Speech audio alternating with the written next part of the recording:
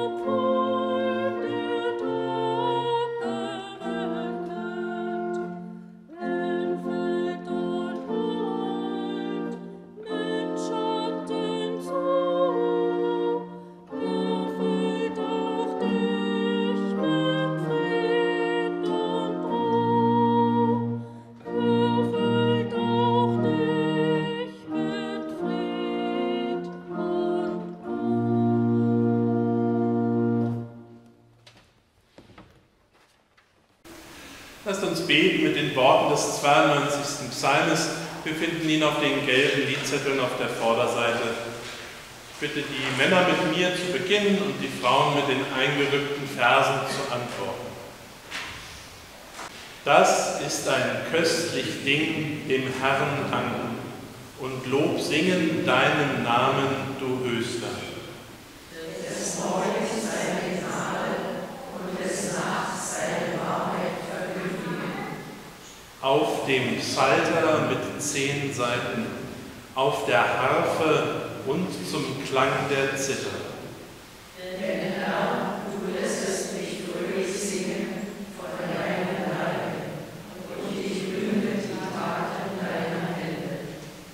Herr, wie sind deine Werke so groß?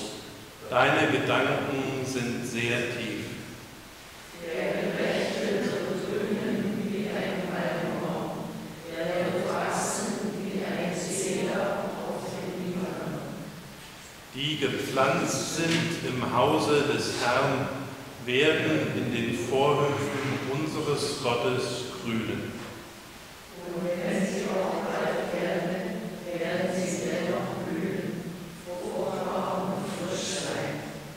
dass sie verkündigen, dass der Herr gerecht ist. Er ist mein Fels und kein Unrecht ist an ihm. Wir haben gehört von Wolfgang Amadeus Mozart Abendruh vor dem Psalmgebet und jetzt kommt noch etwas, da kommt von oben eine Ansage, steht bei mir. Es folgt eine Aria von Anton Diabelli. Er war Österreicher und hieß eigentlich Dämon.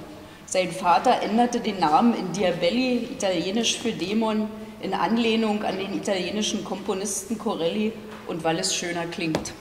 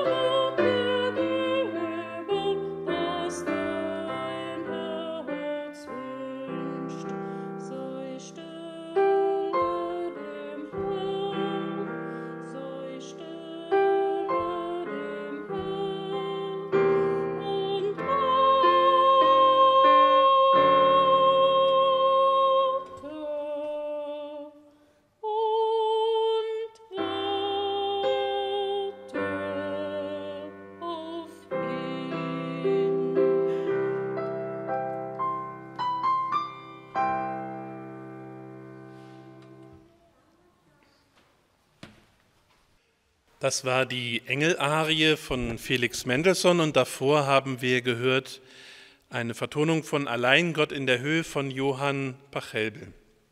Und jetzt möchte ich uns lesen aus der Bibel, aus der Heiligen Schrift, aus dem Matthäusevangelium im 14. Kapitel. Und Jesus entwich von dort in einem Boot in eine einsame Gegend ganz allein. Und als das Volk das hörte, folgte es ihm zu Fuß aus den Städten. Und Jesus stieg aus und sah die große Menge, und sie jammerte ihn, und er heilte ihre Kranken. Am Abend aber traten seine Jünger zu ihm und sprachen, die Stätte ist einsam, und die Nacht bricht herein. Lass das Volk gehen, damit sie in die Dörfer gehen, und sich zu essen kaufen. Aber Jesus sprach zu ihnen, es ist nicht nötig, dass sie fortgehen, gebt ihr ihnen zu essen. Und sie sprachen zu ihm, wir haben hier nichts als fünf Brote und zwei Fische. Und er sprach, bringt sie mir her. Und er ließ das Volk sich lagern auf das Gras und nahm die fünf Brote und die zwei Fische, sah auf zum Himmel, dankte und brach's und gab die Brote den Jüngern, und die Jünger gaben sie dem Volk. Und sie aßen alle und wurden satt und sammelten auf, was an Brocken übrig blieb, zwölf Körbe voll. Die aber gegessen hatten, waren etwa fünftausend Männer, noch ohne Frauen und die Kinder. Amen.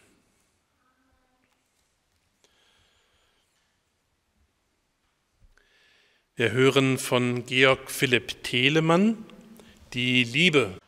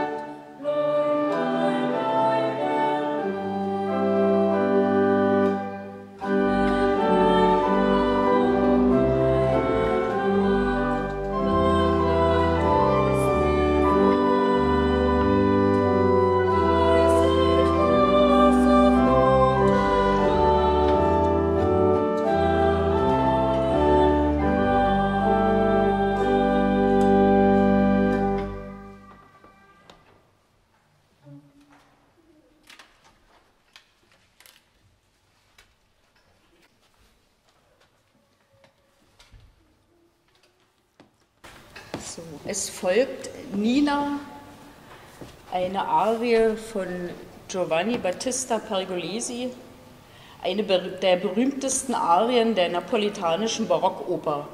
Der Komponist ist eigentlich unbekannt. Sie wird Pergolesi zugeschrieben aus zwei Gründen. Die Arie sollte Pergolesi zu noch mehr Berühmtheit verhelfen und andererseits geriet sie durch seinen Namen nicht in Vergessenheit. Im Text fleht der tief besorgte Liebhaber um die Genesung seiner Geliebten.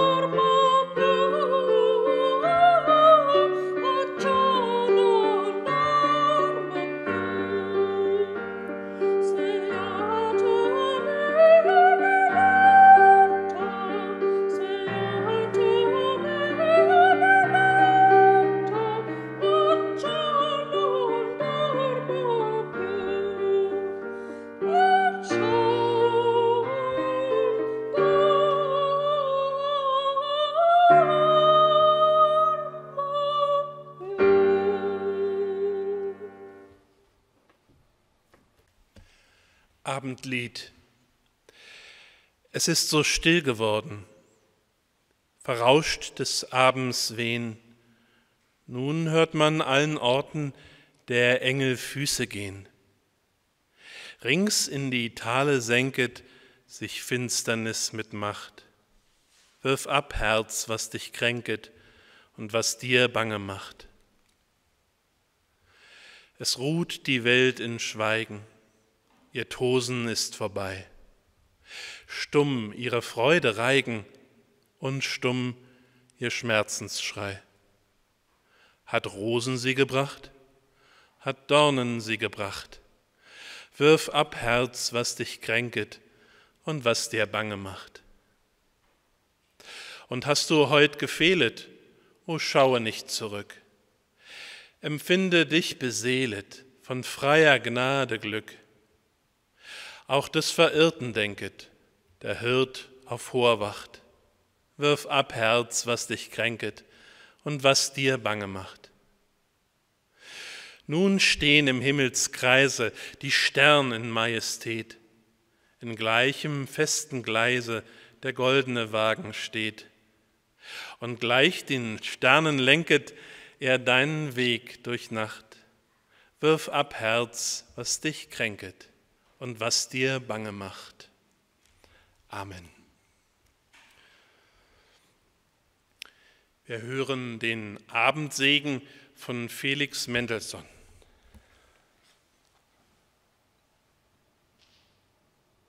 Mm-hmm.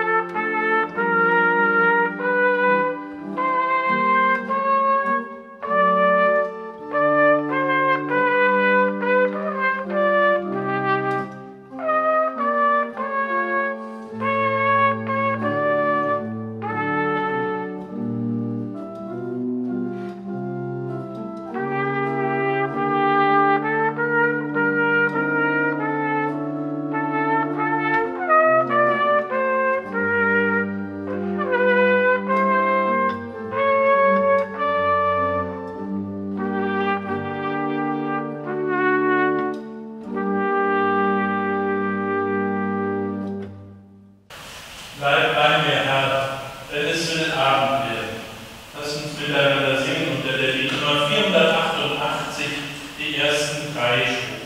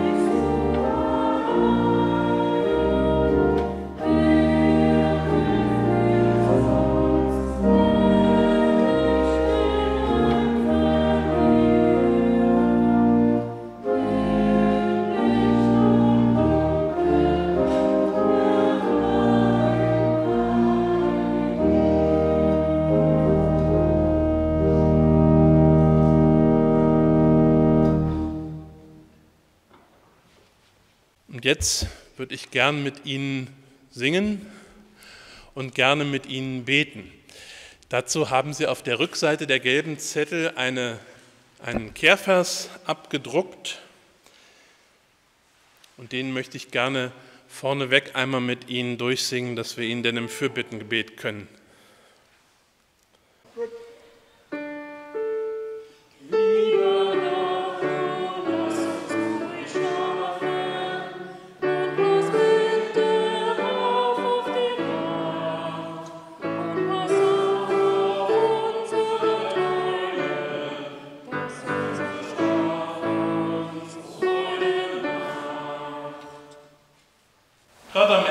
Tages geben wir dir zurück, was du uns gegeben hast.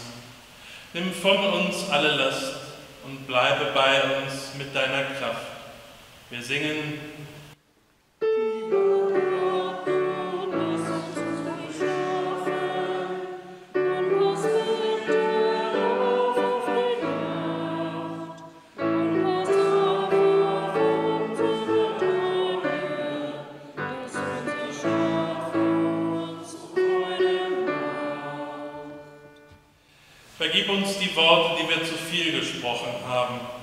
und die, die wir hätten sagen sollen. Verzeih uns, wenn wir anderen zur Last gefallen sind und hilf uns zu tragen, wo sie es uns schwer gemacht haben. Wir singen zu dir,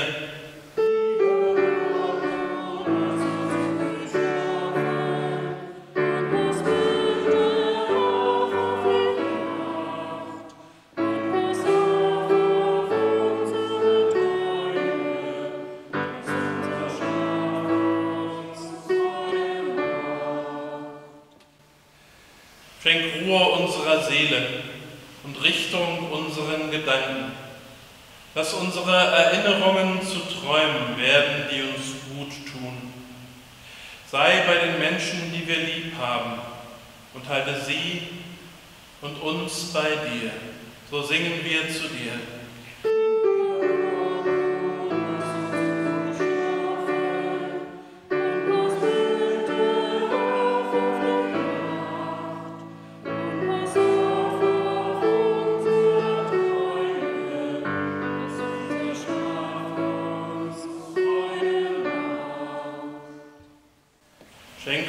Heute einen guten Schlaf und lass uns in deinen Armen ruhen.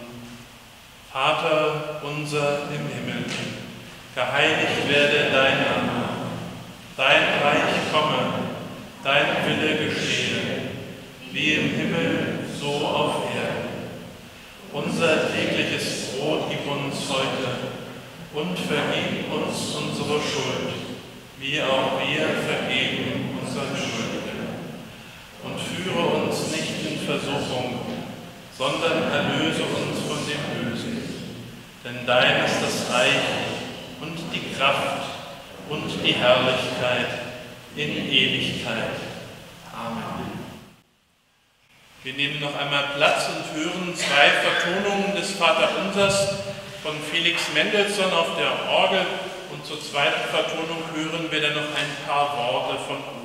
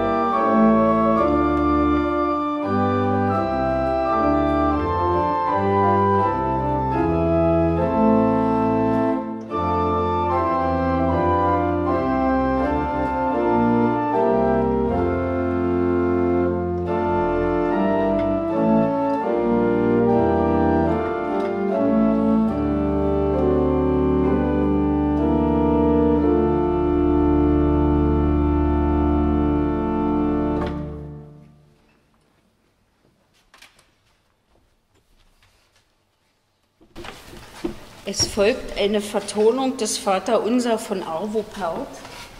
Das ist ein estnischer Komponist und er widmete seine Vaterunser-Vertonung Papst Benedikt XVI. und führte es 2011 zu seinem 16. Priesterweihejubiläum im Vatikan auf. Eigentlich für Knabensopran.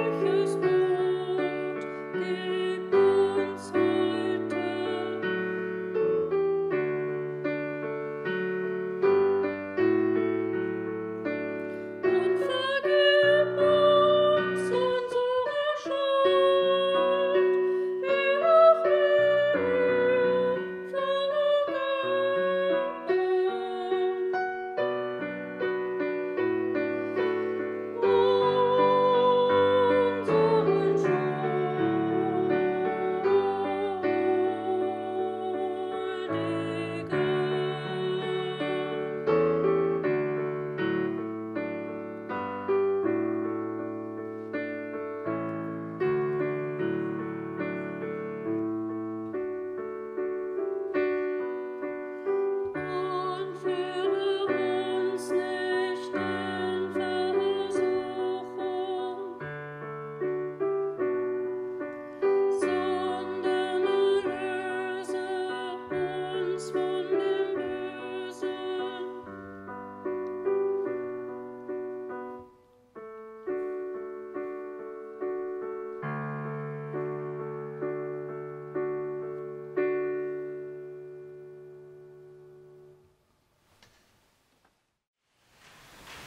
Nun decke mich zu mit der Nacht. Breite deine Gnade aus über uns, wie du verheißen hast. Deine Verheißungen sind mehr als die Sterne am Himmel. Deine Gnade ist tiefer als die Nacht. Die Nacht kommt und das Ende auch. Du kommst, auf den wir warten, Tag und Nacht.